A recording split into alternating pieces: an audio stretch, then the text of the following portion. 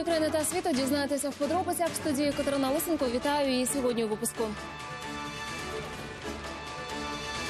Авіакатастрофа у Казахстані. 12 загиблих на борту перебували українці. Що з ними і чому впав літак? Нестерпна річка на Черкащині. Люди потерпають від смороду зі справжнього лиману нечистот. Як він з'явився? Україна і Брекзит. Велика Британія готується заново підписувати двосторонні угоди після виходу з ЄС. Чого чекати Києву? Не підійшло. Німці масово здають у магазини різдвяні подарунки. Як реагують на це торговельні мережі? 12 людей загинули, півсотні поранені внаслідок авіакатастрофи в Казахстані. Літак упав уранці поблизу Алмати. На борту було 98 людей, з них двоє українці. У вітчизняному МЗС повідомили, що в них переломи хребта і травми середньої тяжкості. Що могло спричинити трагедію, розкаже Ольга Жидецька. Літак прямував із Алмати в столицю Казахстану Нур-Султан. Лайнер Фокер 100 авіакомпанії Бек Ейр злетів близько сьомої в умовах густого туману. І вже за кілька хвилин диспетчери втратили з ним зв'язок. На облавку перебували близько 100 людей. Літак, що так і не набрав належної висоти, пробив бетонну огорожу і врізався в порожню двоповерхову будівлю в житловому секторі неподалік литовища. Куча людей разбились. Пожежі не було. Вцілілі пасажири, члени екіпажу, почали самотужки залишати лайнер. Тим часом на місце події прибули рятувальні служби. Сегодня утром в 7 7.30 в Волгасский район управления полиции поступило сообщение о том, что э, на крайне поселка Гуль- Гульдала крушение самолета. На место э, происшествия прибыло э, сотрудники районного управления Болгарского рода, Илийского рода и Межказахского рода. Інформація про жертви катастрофи змінювалася щогодини. Спочатку повідомили про дев'ятьох, потім про п'ятнадцятьох. Зрештою, кількість загиблих уточнили – їх дванадцятеро. Ще 60 людей у лікарнях, 18 в тяжкому стані. Серед постраждалих – семеро дітей. Нещасливим рейсом летіли і наші співвітчизники. За повідомленням вітчизняного МЗС, у двох українців перелами хребта та травми середньої тяжкості. Українське консульство надає їм необхідну допомогу. До шпиталів, куди доправили постраждалих у трощі, одразу вишикувалися черги охочих здати кров для травмованих. На місці трагедії працюють рятувальники та авіаспеціалісти. Літак, що зазнав аварії, отримав сертифікат льотної придатності у травні цьогоріч. Вік лайнера – 23 роки. Дважды самолет при взлете коснулся хвостовой частью взлетно-посадочной полосы. А, Либо это ошибка пилота, либо это техническая причина. Это уже установит э, специальная техническая комиссия, экспертиза, повторюсь, при участии Международного авиационного комитета. До з'ясування причин катастрофи польоти літаків цього типу і діяльність авіакомпанії Бек Ейр тимчасово припинили. Влада Казахстану висловила співчуття родинам загиблих і постраждалих. Україні оголосили день жалоби. Ольга Жидецька, Аліса Орлова. Подробиці телеканал Інтер. Одного українського військового поранено сьогодні на Донбасі. Противник обстрілював позиції оборонців 9 разів з бронетехніки, гранатометів та кулеметів. Про ситуацію на Світлодарській дозі розкаже Ігор Леванок. Позиції на передовій окутав густий туман. І послухайте зараз, яка тиша. Втім, армійці кажуть, що ця тиша є вельми оманливою. Супротивник час від часу періодично прострілює наші позиції, робить це несподівано. І ось такі сюрпризи сюди можуть прилетіти будь-якої миті. Тиша, тиша, внезапно починають. АГС починає крепити по всій лінії. 82-й потім підключаються і пішло поїхало. І зараз можуть. Ось туман можуть зараз теж. Нульові позиції в районі селища Луганського. Солдати в окопах насторожі. Кажуть, перемир'я тут таке, що цілодобово мусять не відходити від кулеметів. Угу. Кожен раз. повне перемирие. Це українські солдати іронізують про черговий безстроковий режим тиші. Він вже тиждень як запроваджений по всій лінії розмежування. От тільки но жодного дня тиші тут так і не було. Ну, обещают они многое. Как говорится, было гладко на бумаге, да забыли про овраги. Тож хлопцям нині не до свят. Настрій у солдатів бойовий. Окупантам кажуть, українці вміють постояти за себе і за батьківщину. Ну, значить, будемо вгамовувати потихеньку. На відповідь знайдемо, чим відповідати. Бійці кажуть, тут новорічна ніч мало чим відрізнятиметься від інших. Розслаблятися ніколи. Більшість часу солдатам доведеться провести біля зброї в очікуванні ворожих провокацій та обстрілів. У Анатолія це вже четвертий новий рік на передовій. Важко, та за жоден із них чоловік не пошкодував. Якщо не ми, то хто? Це перший, перший, я не знаю, перший пункт, мабуть, який повинен бути у кожного громадянина України. Це моя думка, і вона в мене внутрі, і я думаю, що вона ніколи відсюди не вийде. З Донецької області Ігор Левинок, Вадим Ревун, Ігор Щепет. Подробиці телеканал Інтер. Мінські домовленості та мир на Донбасі. Про це йшлося під час зустрічі голови депутатського об'єднання Міжпарламентський діалог в ім'я миру, співголови опозиційної платформи за життя Віктора Медведчука та голови Держдуми Росії В'ячеслава Володіна. Сторони сподіваються, що саме міжпарламентський діалог сприятиме нормандському формату в пошуках мирних ініціатив. За словами Віктора Медведчука, зустрічі в ширшому форматі депутатів України, Росії, Німеччини та Франції відбудуться найближчого місяця. Сегодня для нас, для Украины, мир на Донбассе, мир на Юго-Востоке – это главная задача. Задача, которую испытывает как проблемную более 70% населения нашей страны. И поэтому то, что стоит сегодня в ожиданиях за действиями нормандского формата, трехсторонней контактной группы и реализации, как уже было сказано, Минских соглашений, это то, что ждут люди для достижения мира. И э, сегодня мы обсуждали как раз эту идею, идею по поводу парламентского измерения нормандского формата. Более того, э, месяц тому назад мы в парламенте Верховной Ради Украины создали межфракционное депутатское объединение, которое имеет название э, «Межпарламентский диалог ради мира. Украина, Россия, Германия, Франция». Именно парламенты этих стран, на наш взгляд, могут внести свою лепту, лепту в выполнение Минских соглашений. Мы будем обсуждать проблемы, волнующие граждан Украины и вопросы, которые не могут нас оставить равнодушными. Речь идет о реализации минских договоренностей в рамках нормандского формата. Вот э, этот вопрос, он был у нас основной. Мы его обсудили и договорились, что следующая встреча уже будет э, э, более широком составе, как с российской стороны, так и со стороны наших коллег с э, парламента Украины. И в этой связи мы надеемся, что объединение усилий депутатов э, позволит нам лучше понимать э, друг друга. Ну и, конечно, нам крайне важно, чтобы ситуация не только нормализовалась, но и э, были выполнены Минские соглашения.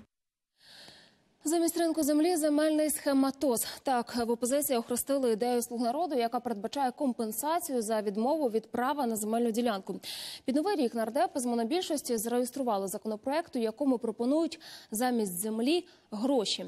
Ідея народних обранців, а виплачувати мають територіальні громади.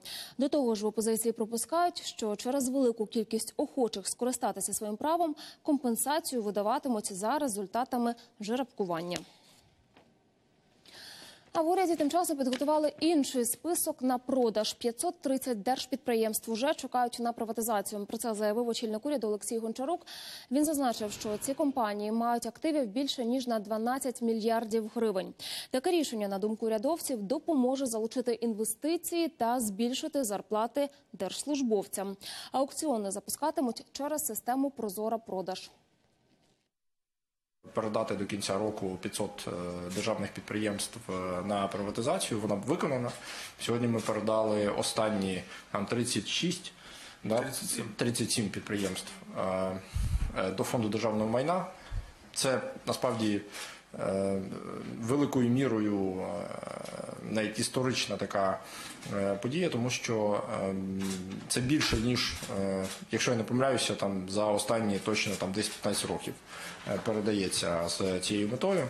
Е, Ми маємо намір продовжувати цю практику, е, аналізуючи, е, які ще державні активи зараз е, е, використовуються неефективно і можуть бути фактично передані ефективному власнику. Пріоритетами парламенту та уряду у 2019 році не задоволена більшість українців. На цьому наголосив співголова опозиційної платформи за життя Юрій Бойко.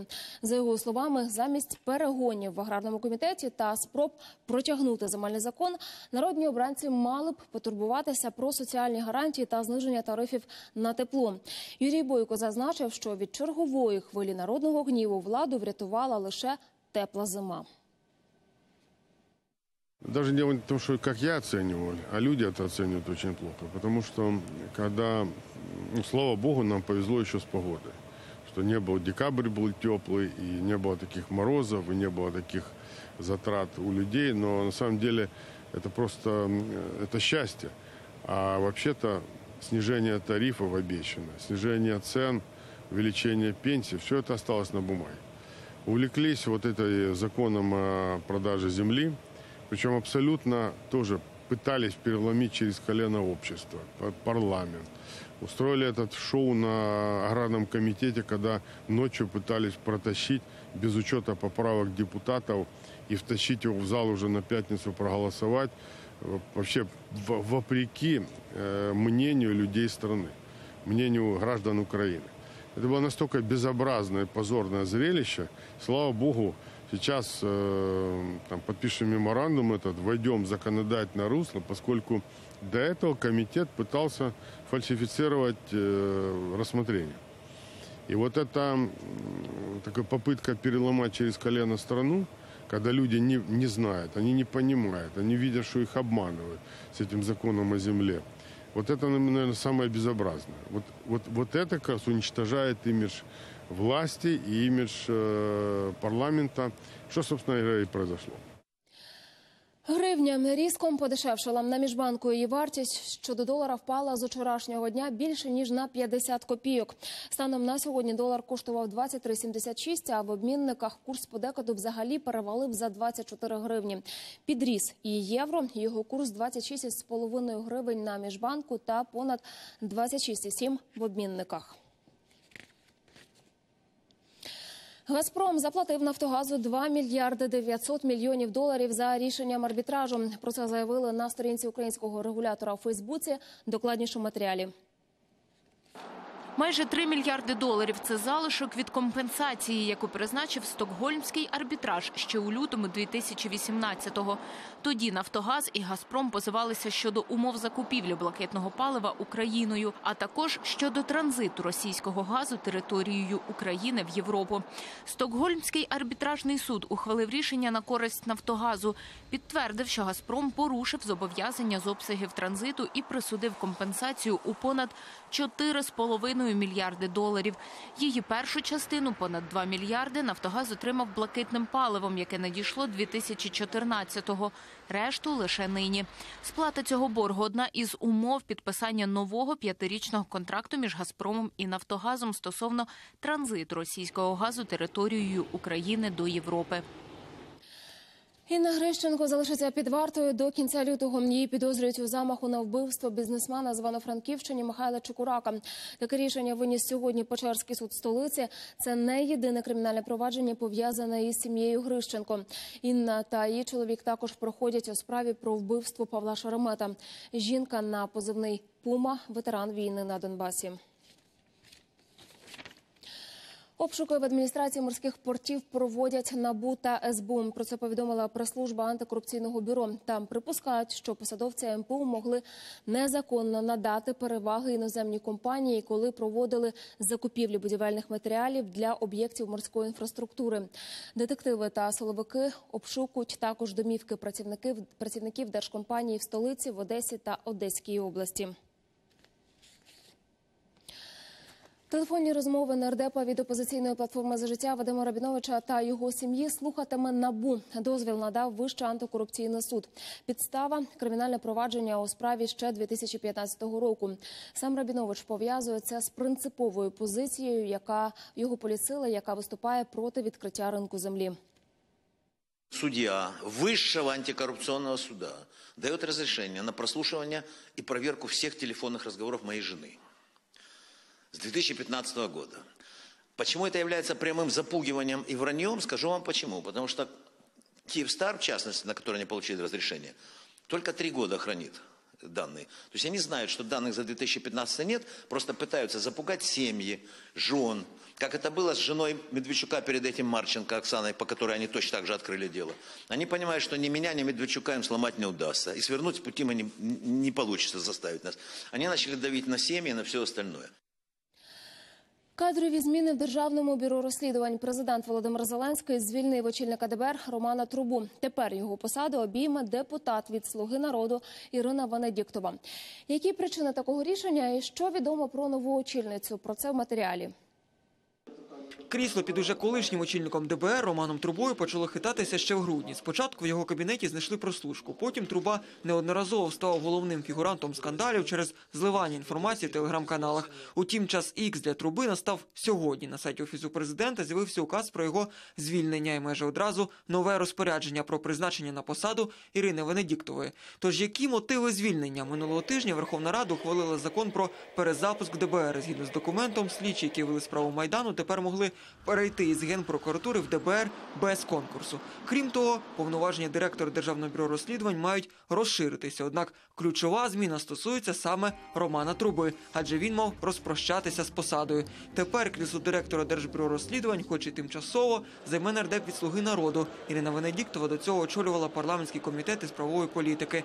За даними змі, у 2016-му вона висувала свою кандидатуру на посаду судді Верховного суду, але конкурс провалила, отримавши бал менше за мінімально допустимий.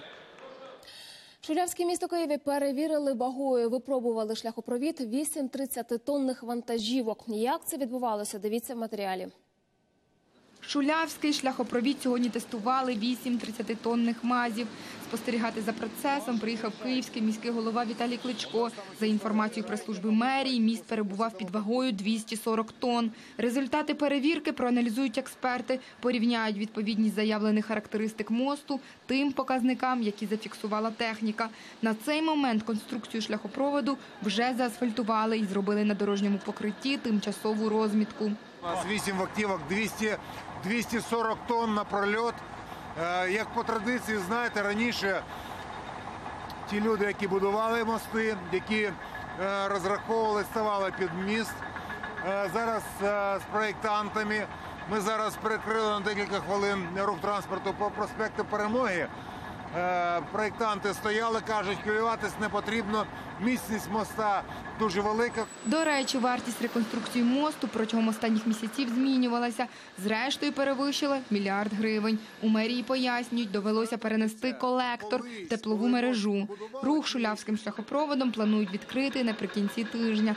Для того, щоб запустити рух із вулиці Довженка на вулицю Вадима Гетьмана, до кінця цього року будівельники працюють без вихідних за будь-якої погоди. На новий рік ми готуємо зробити подарунок маленький, відкрити рух транспорту по Шулявському мосту. Нагадаю, естакада обвалила ще 27 лютого 2017 року. Тоді вперше заговорили про повну заміну переїзду. Проте ще рік міст функціонував. Та в один день частина його обвалилася, і арматура пошкодила 10 автомобілів. Віталій Кличко перший пожартував над обвалом мосту. Написав у соцмережі, що міст втомився. Кияни швиденько підхопили настрій мера і створили сторінку мосту у Фейсбуці, яка набрала 20 тисяч підписників. Реконструкція шляхопроводу триває з 17 березня поточного року. Дипломатія як захист від в'язниці. Журналісти викрили акціонерів української авіакомпанії у незаконному використанні дипломатичних привілеїв на території Ліванської республіки. Чи загрожує Україні міжнародний скандал? Про це в сюжеті.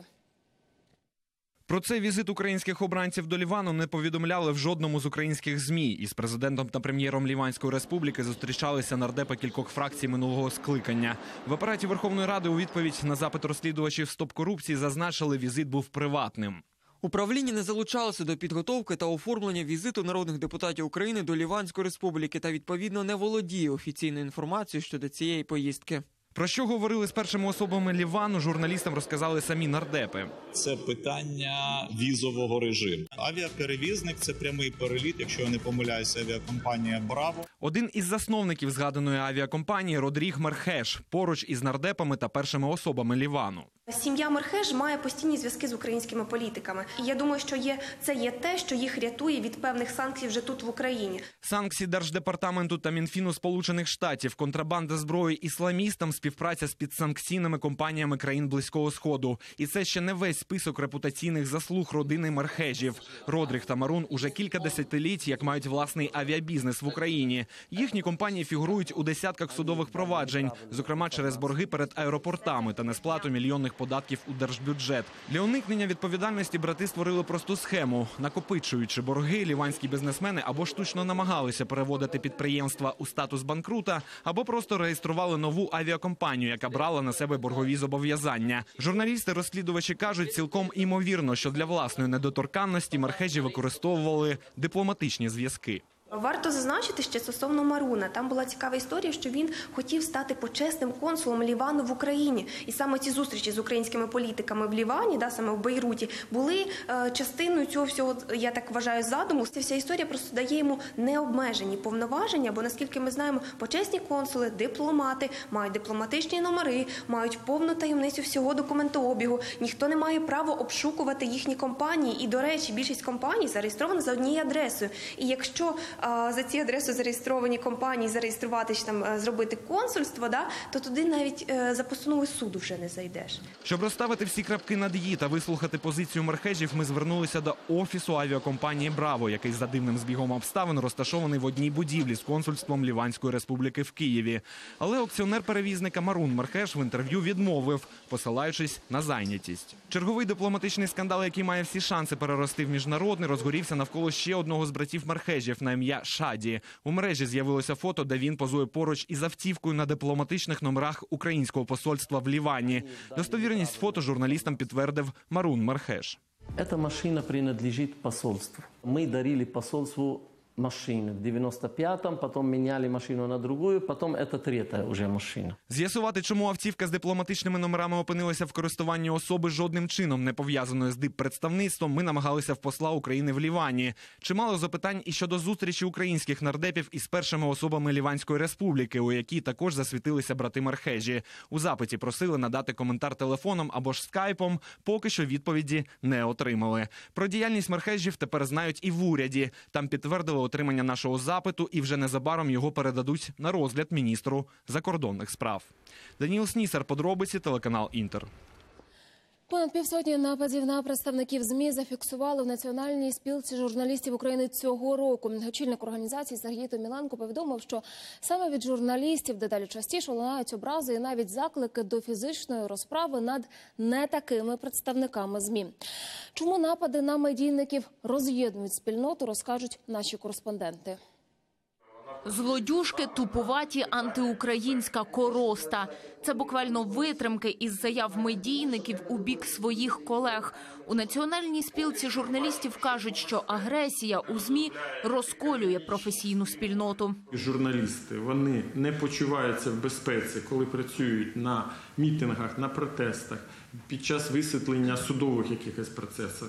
Постійно відбувається якийсь пошук і полювання за певними не такими журналістами. І звичайно, що в підсумку це сигнал тривоги, який транслюється не лише і в столиці України, сигнал тривоги, який транслюється зокрема по всій Україні, і його відчувають наші колеги у регіонах. Найчастіше від нападів потерпають жінки-журналістки, кажуть у національній спілці. Погрожують їм і на вулицях, і в мережі. Журналістки отримують е, негативні коментарі в соціальних мережах. Вони отримують погрози у месенджерах і доходить до погроз у вічі, е, коли обговорюється і зовнішність людини, її вік, манера вдягатися, її сімейний статус, наявність чи відсутність дітей. На дискусію в національну спілку запросили і тих, хто постраждав через напади, і тих, хто закликав до розправи над колегами. Та останні не з'явилися. Не можна розділяти на журналістів хороших, і їх не можна чіпати, поки влада не поміняється, і на журналістів поганих, які вчора ще були хорошими, а зараз вони стали вже поганими, бо говорять щось не те, їх можна бити.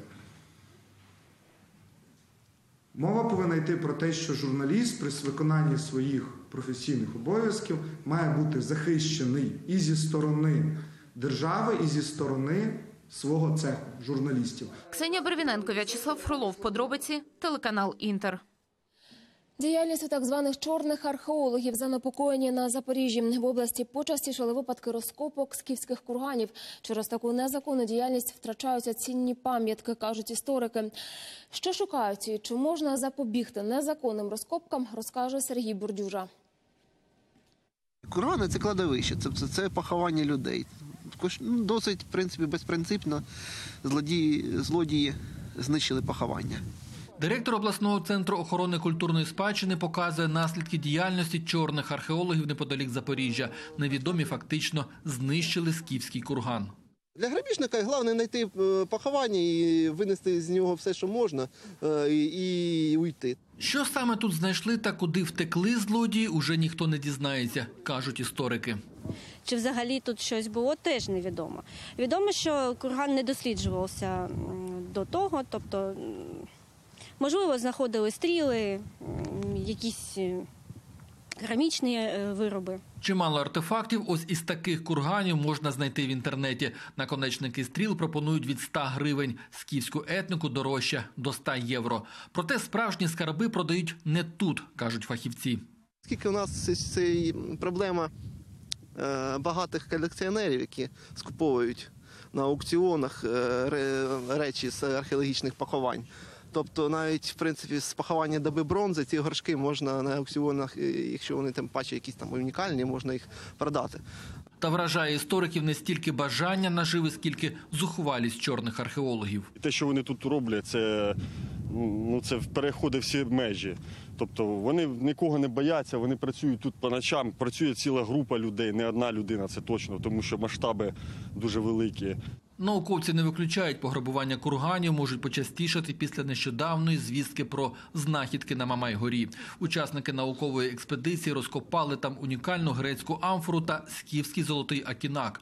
Утім, такі артефакти – неабияке везіння, переконаний Олег Тобольцев, який уже багато років досліджує кургани, а їх на Запоріжжі близько восьми тисяч эти э, несчастные, которые берутся за детекторы и лопаты, чтобы там что-то откопать, они просто обламываются, потому что на самом деле там пустые как бы эти ямы, с, в лучшем случае с костяками, с горшком. Все, там ничего нет. За пограбування давніх поховань і заподіяну їм шкоду можна потрапити за грати, кажуть в обласному центрі охорони культурної спадщини. Але для цього треба спіймати копачів на гарячому. Але такі випадки майже унікальні.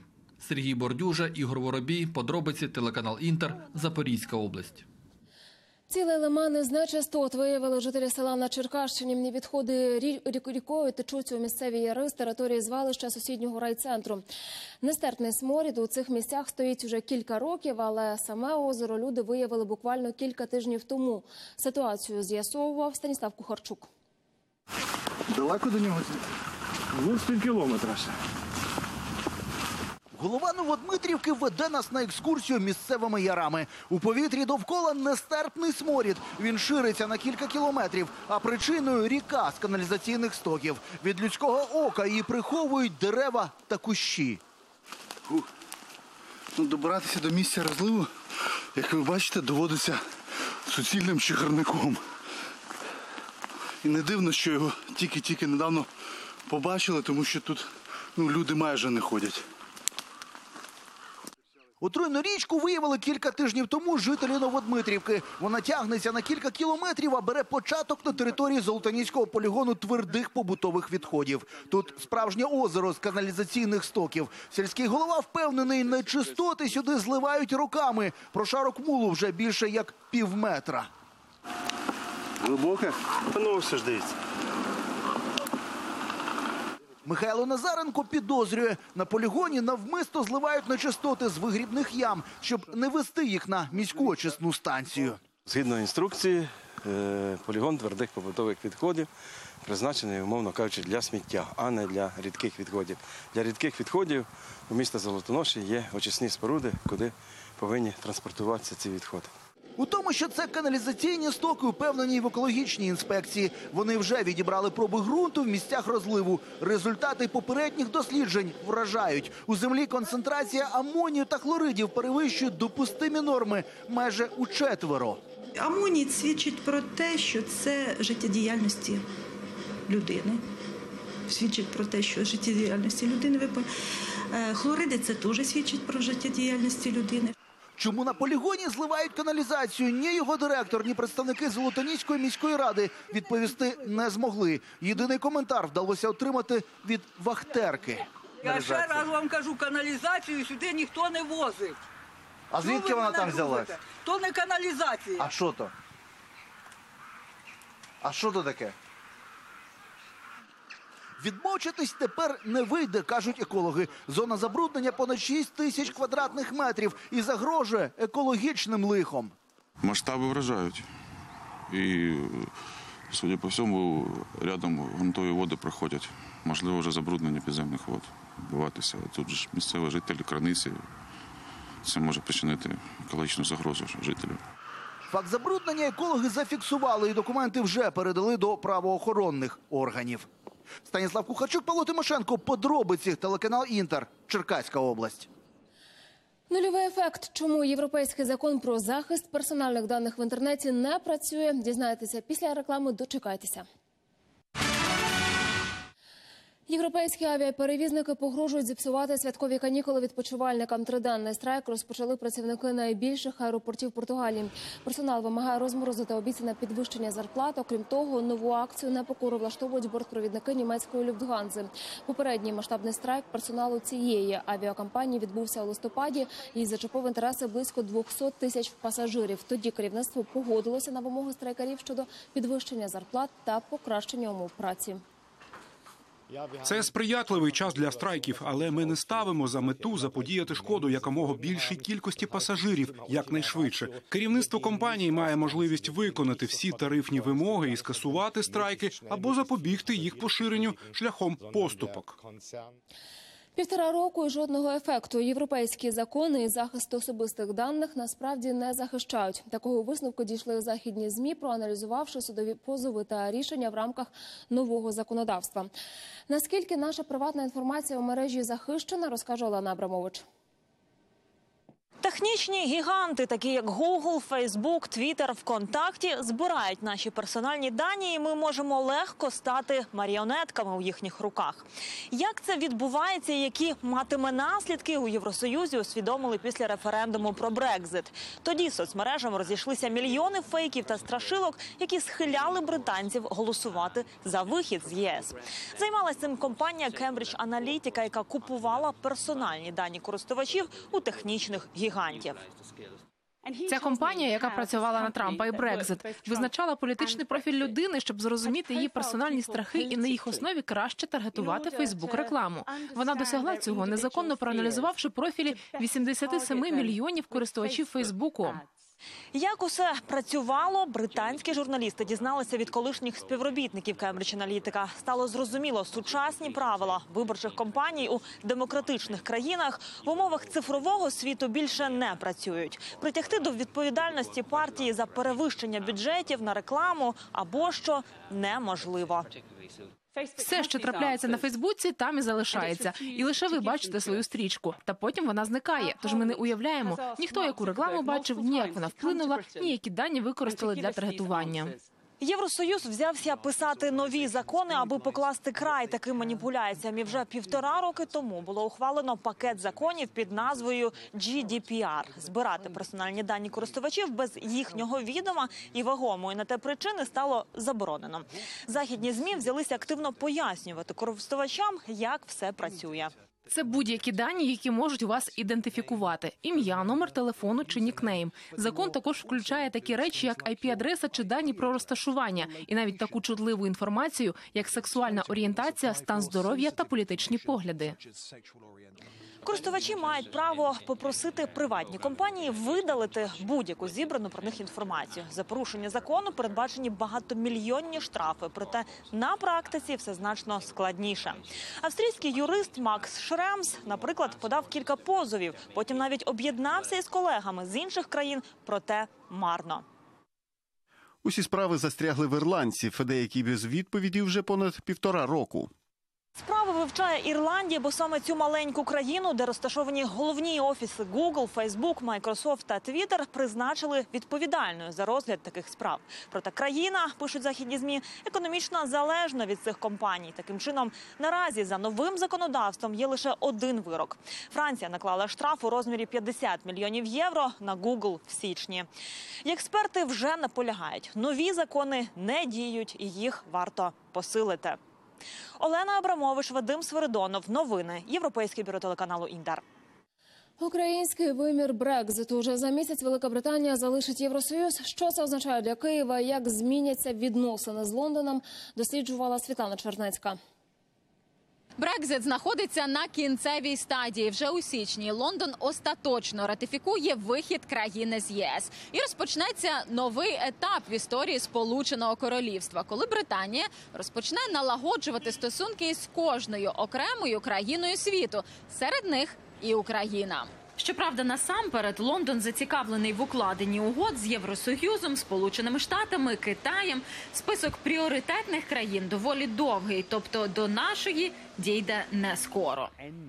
Розлучаючись із євроспільнотою, Сполучене Королівство автоматично виходить з усіх угод, які мав ЄС з іншими країнами світу. Тобто Лондон заново будуватиме відносини з усіма. Стосуватиметься це усього насамперед торгівлі та закордонної політики.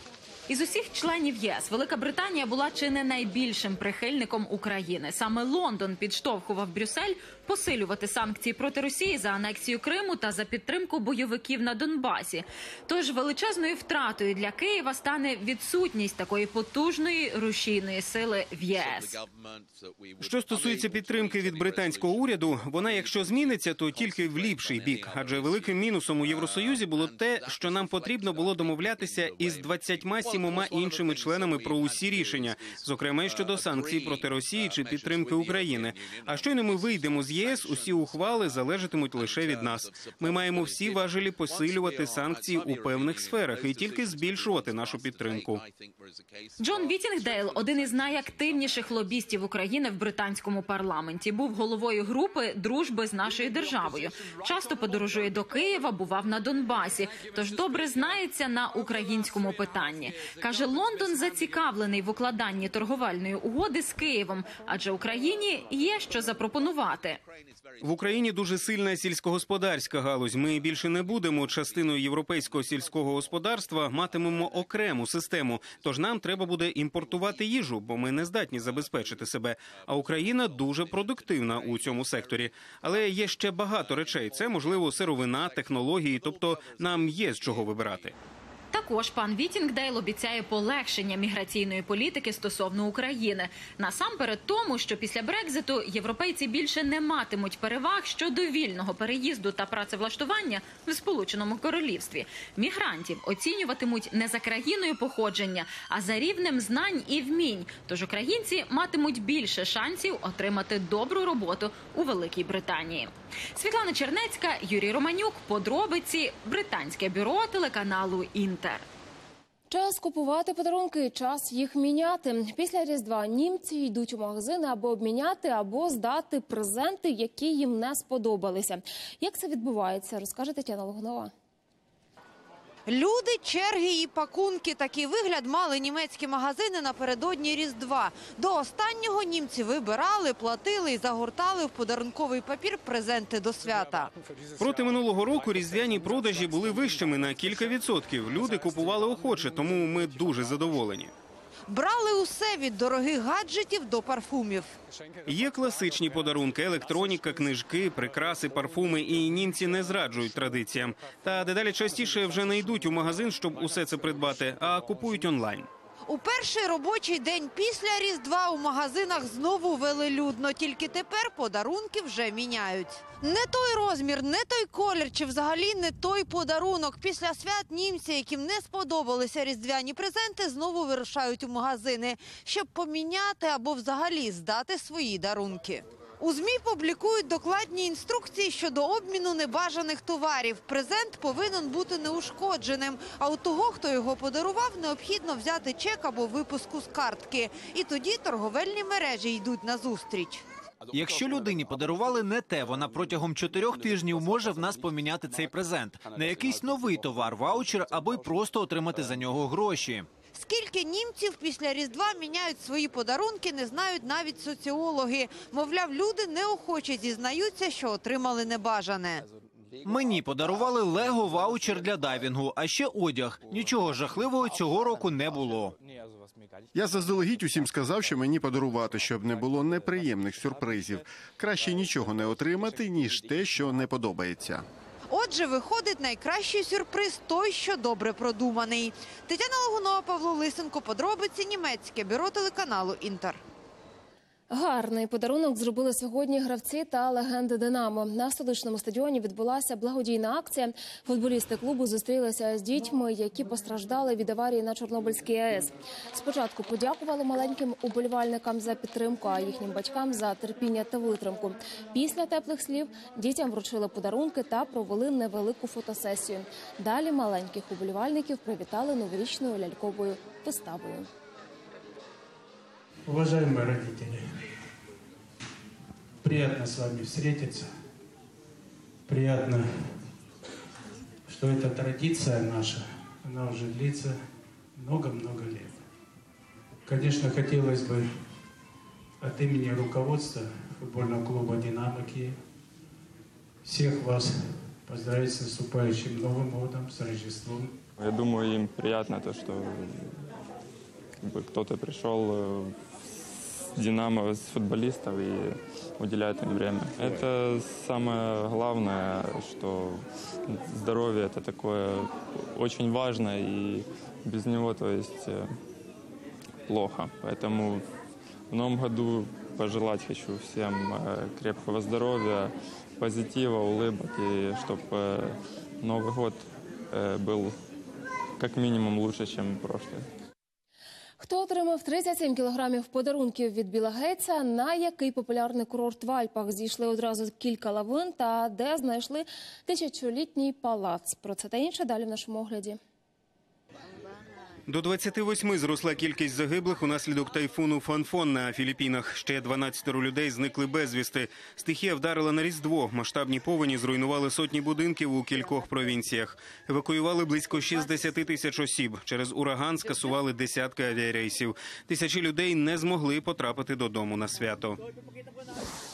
В Австрії тимчасово закрили гірськолижний комплекс Анкогель. Напередодні популярний серед туристів курорт накрили одразу три лавини.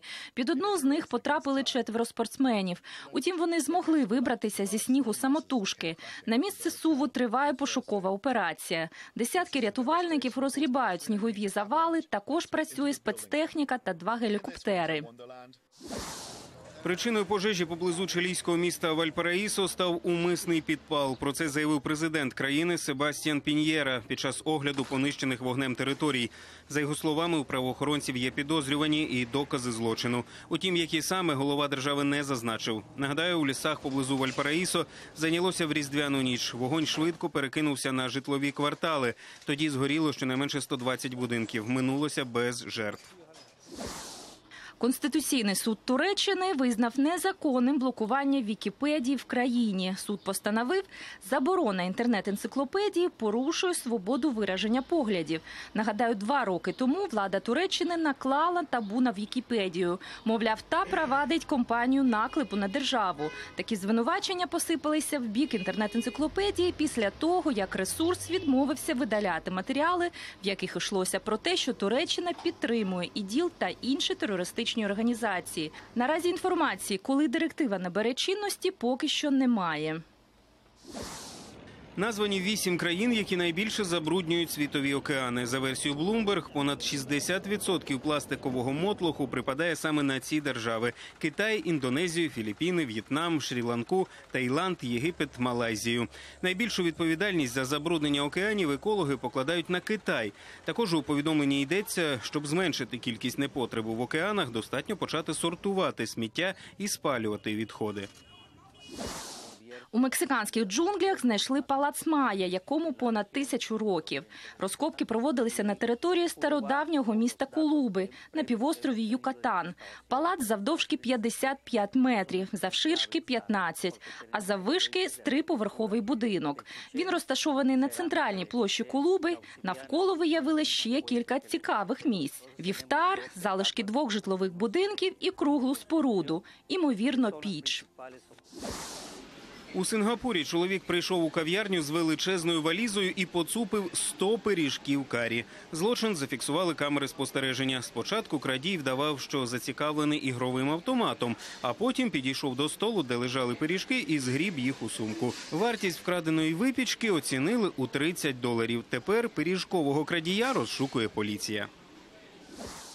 37 кілограмів подарунків від Біла Гейтса отримала жінка з американського Детройта. Гейтс став таємним Сантою для 33-річної Шелбі.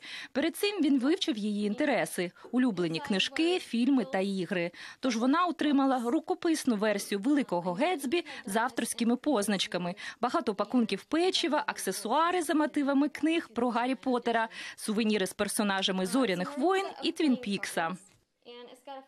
Більше новин, як завжди, на нашому сайті. Подробності є. Я в прямому ефірі. Побачимося вже завтра. Я бажаю вам гарного вечора та до зустрічі.